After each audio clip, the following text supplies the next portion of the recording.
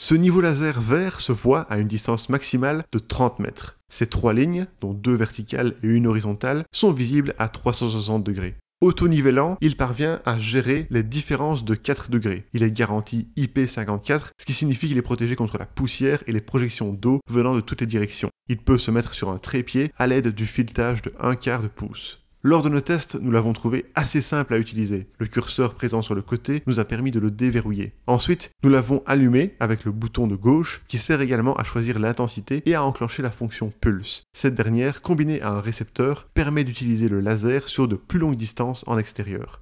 Le bouton du milieu nous a permis de sélectionner la ligne horizontale et le bouton de droite a actionné les lasers verticaux. Ainsi, il nous a été possible de sélectionner les lignes indépendamment les unes des autres. L'appareil s'active à distance à l'aide de la télécommande qui est fournie. S'il n'y a pas de cible, la marque a tout de même inclus un support magnétique rotatif qui s'est révélé très puissant, s'est installé aisément et n'a pas glissé à l'utilisation. Le tout est rangé dans une boîte de transport avec une mousse de protection utile en cas de chute. Ce niveau laser fonctionne à l'aide d'une batterie non amovible. Un câble de chargement est prévu dans la boîte, mais il n'y a pas de chargeur. Heureusement, il s'agit d'USB-C. Durant nos tests, nous avons facilement accédé au mode manuel. Il suffit d'appuyer sur le bouton on-off quelques secondes en laissant le niveau verrouillé, puis les lasers peuvent s'utiliser à l'oblique sans l'auto-nivellement. C'est utile par exemple si vous souhaitez aligner des lampes dans une cage d'escalier. Ayant 4 intensités lumineuses, le niveau laser peut être utilisé en économisant sa batterie dans les pièces plus sombres ou à pleine puissance quand la luminosité naturelle est plus vive. C'est une option vraiment utile selon nous. À 5 mètres de distance, dans une pièce normalement éclairée, toutes les intensités ont été bien visibles. En pleine lumière, nous recommandons d'utiliser l'intensité lumineuse la plus forte. Elle a été très visible même sur un mur coloré situé à 3 mètres. En conclusion, ce modèle propose trois lignes à 360 degrés. En plus d'avoir un support magnétique très puissant, il offre une excellente visibilité, même dans une pièce avec une lumière vive, grâce à ses quatre niveaux d'intensité.